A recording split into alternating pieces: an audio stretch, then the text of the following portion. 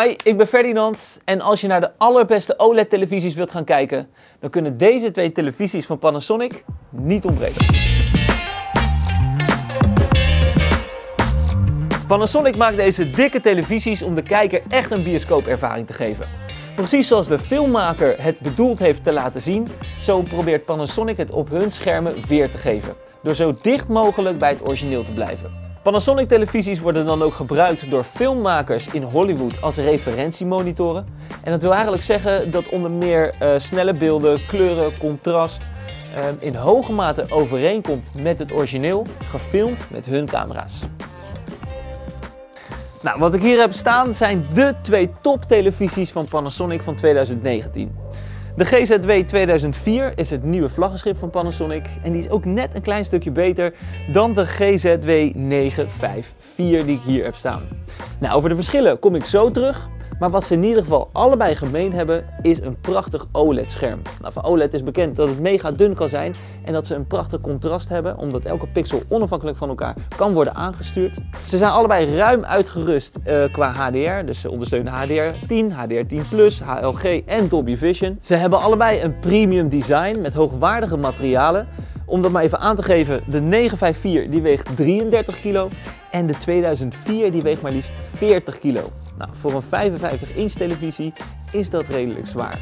Nou, ze hebben beide een uh, verschillend design wel en dat komt voornamelijk omdat ze ook allebei een ander geluidssysteem hebben. De GZW 954 die heeft een vermogen van 50 watt, wat wel iets meer is dan een gemiddelde televisie en ondersteunt Dolby Atmos. Dan gaan we naar de grote jongen, wat echt wel een ander verhaal is. Want die heeft namelijk een vermogen van 140 watt, heeft 5 speakers en is de eerste televisie die daadwerkelijk omhoog gerichte speakers in de televisie heeft om de Dolby Atmos weer te geven. Nou, um, daardoor krijg je dus ruimtelijke geluid. Je hoort helikopters daadwerkelijk overvliegen. Maar daardoor klinkt het ook gewoon wat fijner als je naar de televisie kijkt, naar een normale film.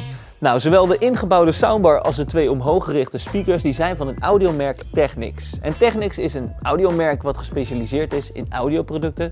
Dus je mag ook iets meer kwaliteit verwachten van de audio in deze televisie. En het verschil is ook daadwerkelijk te horen omdat het geluid hier wat verzorgder klinkt, zeg maar.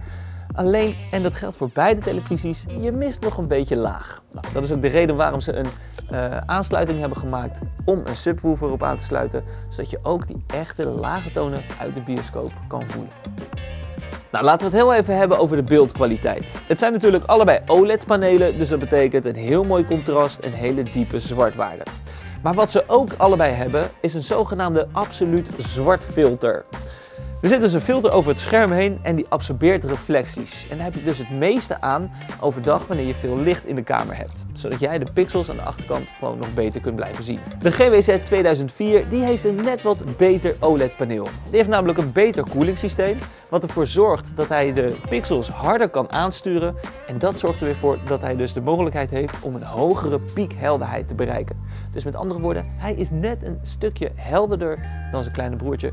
Het smartplatform van beide televisies is niet veranderd. Dat is namelijk nog steeds My Homescreen 4.0.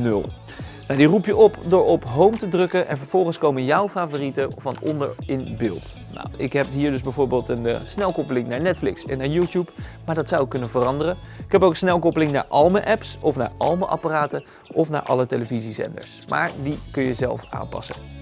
Nou, vervolgens kun je nog een menu naar beneden of naar boven. En dan zie je al je zenders van je televisie of al je favorieten. Kun je ook instellen.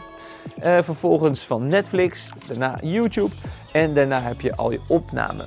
Nou, die volgorde kun je zelf ook bepalen, net wat jij prettig vindt.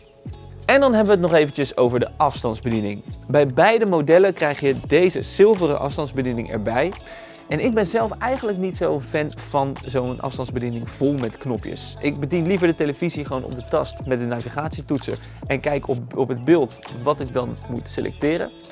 Maar goed, hij heeft wel een Netflix knop waarmee je direct naar de app gaat en een knopje zo linksonder die je kunt instellen naar jouw eigen favoriete app.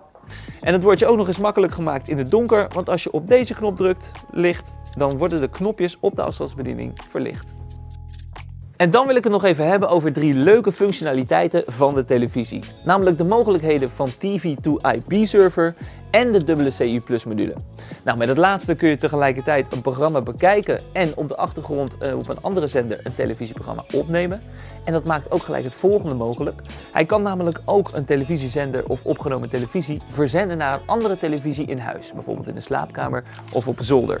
Nou, het voordeel is daarvan dat je daar in ieder geval op die televisie geen extra snoertje nog hoeft aan te leggen. En dat hoeft een niet eens een Panasonic televisie per se te zijn. Kan ook een, elke andere willekeurige tv zijn met een Chromecast. Nou, en dat gaat nog verder, want met de uh, Panasonic app kun je overal ter wereld verbinding maken met je televisie. Daardoor kun je dus overal ter wereld zonder beperkingen gewoon naar zenders kijken of naar je opgeslagen programma's. Hartstikke leuk. Nou, beide televisies zijn niet goedkoop. Maar als je het mij vraagt, zou ik denk ik voor de 954 gaan. En voor die 1000 euro die ik dan overhoud, want zoveel schelen ze, zou ik dan nog een soundbar met subwoofer aanschaffen. Maar goed, wil je nou de beste beeldkwaliteit van deze twee? Dan moet je gewoon lekker voor de 2004 gaan. Eh, maar daar zou ik dan nog wel een subwoofer bij aanschaffen voor die echte bioscoopervaring. Nou, beide televisies zijn sowieso voor de filmfanaten die alles uit hun films en series willen halen. Want met hun OLED-kwaliteit uh, ja, behoren ze wel tot de beste.